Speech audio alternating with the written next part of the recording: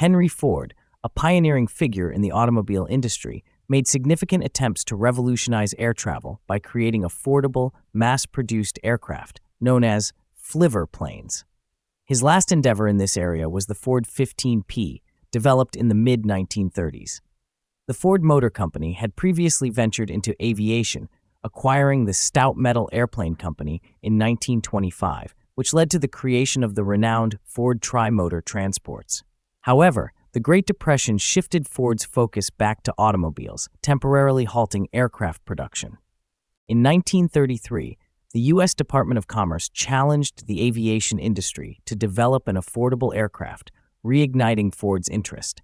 The Ford 15P was designed by Harry Karcher and Gar Evans, featuring a tailless, flying wing design with a steel tube fuselage covered in aluminum sheeting and fabric covered wings.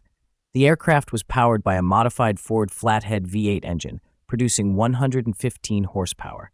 The 15P had unique control surfaces, including drag rudders and elevons, and was supported by standard tail dragger landing gear.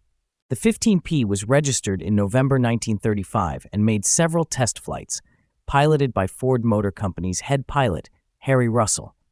However, controlling the aircraft proved challenging and it was eventually damaged in a landing accident. The damaged 15P was stored and never repaired. In 1936, Ford Motor Company ceased aircraft operations, closing the Stout Metal Airplane Division. The remnants of the 15P were later used in an unsuccessful attempt to create an autogyro type aircraft in 1941, after which all traces of the 15P disappeared. Both Henry Ford and his son Edsel, who had a keen interest in aviation, likely played equal roles in the development of the 15P. Despite their efforts, the Ford 15P, like previous flivver plane attempts, did not achieve the intended goal of creating an affordable, mass produced aircraft for the average citizen.